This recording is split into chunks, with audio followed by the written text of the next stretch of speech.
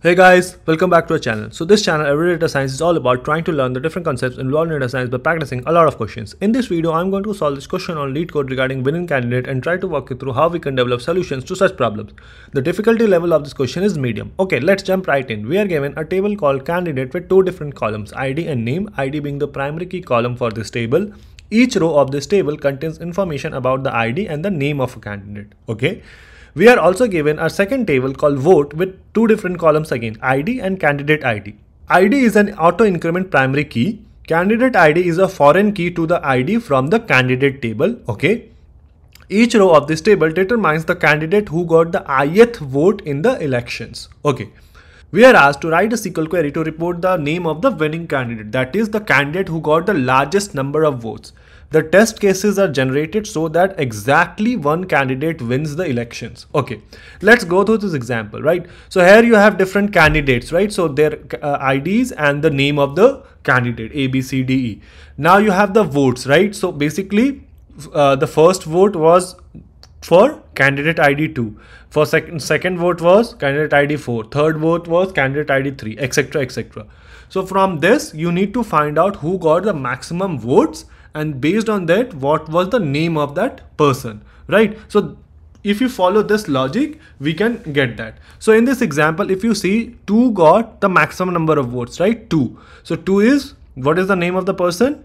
B right? So that should be the output. And this is what we do. So to do this what we can do is from this vote table we can group by the candidate ids and count the number of this ID because if you see for in this ID is an auto increment primary key. So non-null unique values, right?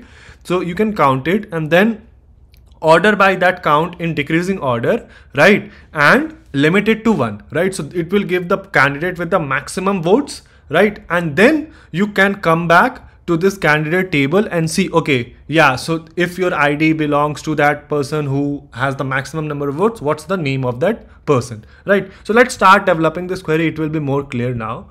Okay, so from this vote table, right, from this vote table, let's group by the candidate ID, right? Let's group by the candidate ID and return the candidate ID right so return the candidate id so group by candidate id return the candidate id but whose? Where you get the maximum number of votes. Right so what you do is you write order by count of id right count of this column.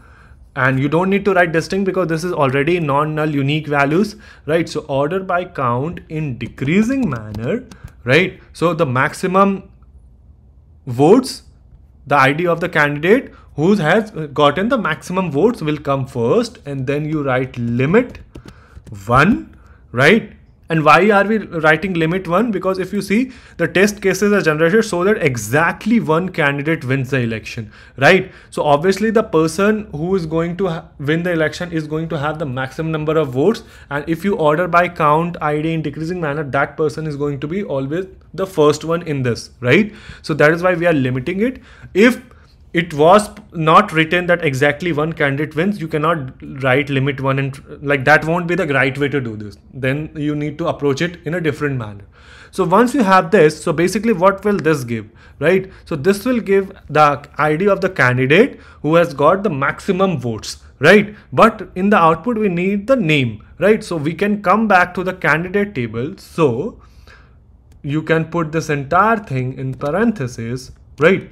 And then you can say from the candidate table right candidate table where id in and then this uh, id is basically we are filtering based on the id of the candidate who got the maximum number of votes. You got the maximum number of votes candidate id from this and you are filtering it and for them you are going to return the name column.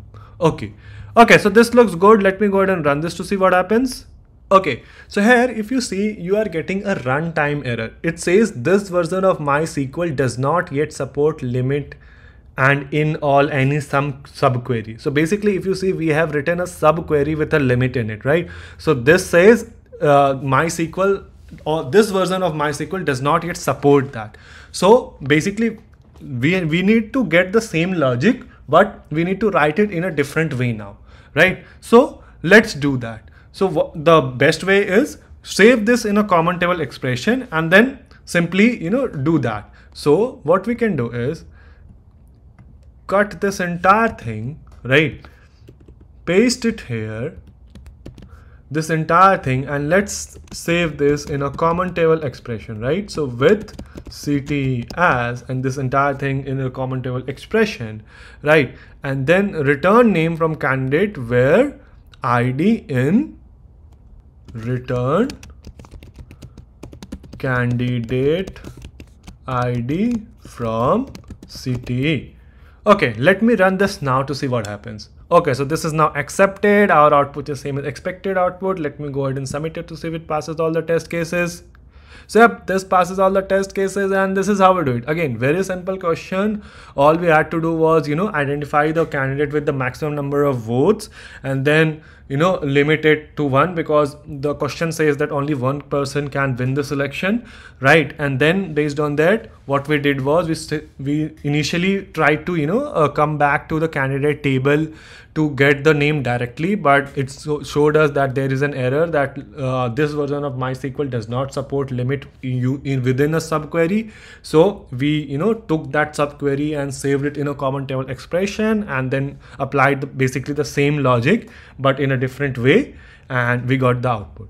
Let me know if there is a better way or a more efficient way to solve this question. Let the solution be in the comment section below. And until then, I will see you guys in the next video.